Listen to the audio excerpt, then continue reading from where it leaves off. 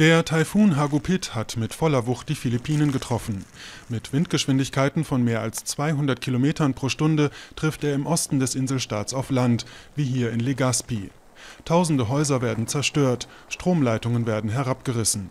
Millionen Menschen suchen Schutz in Notunterkünften, mindestens zwei kommen ums Leben. Drei Tage dürfte es dauern, bis Hagupit über die Philippinen hinweggezogen ist.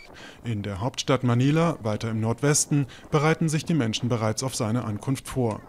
Erst vor einem Jahr waren die Philippinen von dem Supertaifun Haiyan getroffen worden.